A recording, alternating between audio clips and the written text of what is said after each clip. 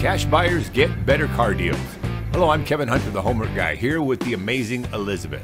This has always been true in the car business, but years ago it was for very different reasons than it is today. Years ago, cash was king. If you walked in the front door of a dealership and announced yourself as a cash buyer, you got the instant attention of the dealer, and the sales staff were instructed to never let a cash buyer go without a car. If you're a cash buyer, you need to see our video titled Don't Say I'm Paying Cash so you understand the dealership business model and why you can't say this up front anymore. The larger the dealer is, the more likely they are to want you to finance instead of paying cash, especially if they have a finance office. Liz, you've done this many times. You get asked repeatedly, How do you plan to pay? So, how do you respond to this question? I tell them I'm not having financial discussions on the showroom floor. I will only do so in a private finance office after we find the vehicle I'm looking for at a price I'm willing to pay. I'm not filling out any forms before that time because I will not have my social security number floating around the showroom floor. Even after you say this once, the sales staff will still ask you how you plan to pay because they love to pester you with this, saying their manager wants to know. I, I, just repeat that I have a right to data privacy and I do not plan to disclose my personal financial information to sales staff. Why do they continue to pester you about paying for the car? Because that's how the dealer makes half their profits in the finance office on the people that take out the loans and they want to know early on in the game if the loan shark will be able to take advantage of me. What are you avoiding when you sit down in finance and you're a cash buyer? Well, the finance officer can't bury things like fees and products in the monthly payments because I'm writing a check for the one payment amount. There's something really important to know before you sit down in finance. You must have the agreed upon price of the car you're buying on a piece of paper in front of you. Documentation beats conversation. That's a key piece of information for you cash buyers out there.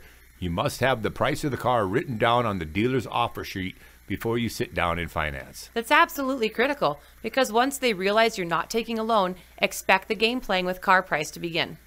Many of our viewers will say that dealers they visited will say they have a cash buyer fee for anyone paying cash. Especially nowadays. We're talking 500 to 1000 bucks. Then that's pure nonsense, of course, and you should refuse to pay it. Walk out if the finance man refuses to remove that fee. It's always disappointing to have to restart the process somewhere else, but you have to do it. Don't give crooked people your business.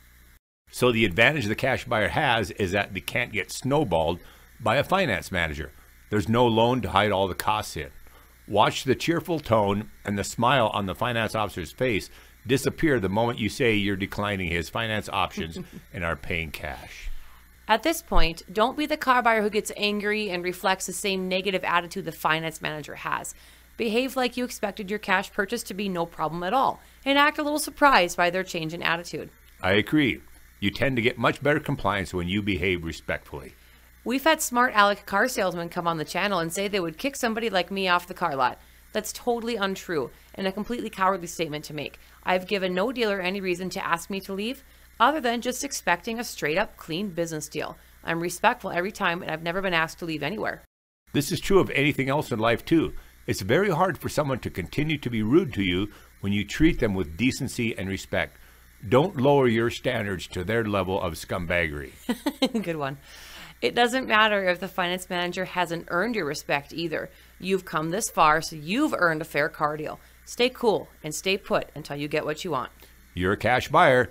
The only thing you should be paying for is the agreed upon price of the car, plus tax, state title, and license fees.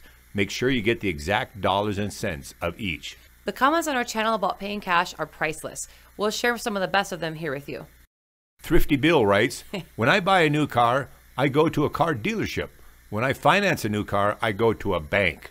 Car dealers are not in the finance business, and of course, I always go the credit union route for loans. Now I pay cash because I tend to keep cars a long time, so I don't need financing. Thanks for looking out for the average consumer. Paraphrasing Paul Simon, there must be 50 ways to rip off a car buyer. Good one, Thrifty Bill. okay, Jerome writes, Thanks for the video, and you nailed this straight through the coffin. I just recently bought a new car, and when I decided to pay all up front, as I have money saved up, the finance officer keeps on convincing me to go with their special finance offer and guilt trips me for not making a decision, which I continually refuse. Finance offers are just another way to take more money out of your pocket. If you can't afford to buy a car, simply don't buy it. Good advice. Troy Rickliff writes, Last time I bought a car, I paid cash. I didn't tell them That was the plan until I pulled out my checkbook. They looked so angry, I thought for a moment they're going to pull out of the deal. Hmm. That's exactly what we're talking about. It worked for Troy, and it'll work for you too. Here's one from Yasmin. I was a car salesperson for a year, and this is all true. If you can get a salesperson to negotiate numbers before you tell them whether you're financing or paying cash, that's pretty much your only opportunity to negotiate. And I would recommend making it sound like you're planning on financing. Good. Also, big negotiation tip. Sound very interested in their options for an aftermarket warranty during the price of the vehicle negotiation. There is a huge profits in these warranties, so we would always consider dropping the price of the vehicle more because the profit it made up for here. Then, of course, when you get what you think is the lowest price, be like, mm, sorry, not interested in the warranty, and I'd like to write a check for that amount. The amount of times I had people negotiate this way toward me and they got some insane deals. Yeah. And finally, Karim sums it up with You have to be willing to walk when dealing with crooked people. No better words spoken. You got it, Karim. All right, if you appreciate our video today, consider giving us a great big thumbs up. And please always remember to comment on our videos and share them with family and friends. Comments really matter because they help boost our online visibility and lead others to great Homework Guy content. The entire Homework Guy team is here to represent you, the car buyer, and that's what we love to do. Thanks everyone for coming back. We'll see you on our next video. You guys rock. I'm Kevin Hunter, the Homework Guy, here with the amazing Elizabeth, the Homework Gal. We gotta go.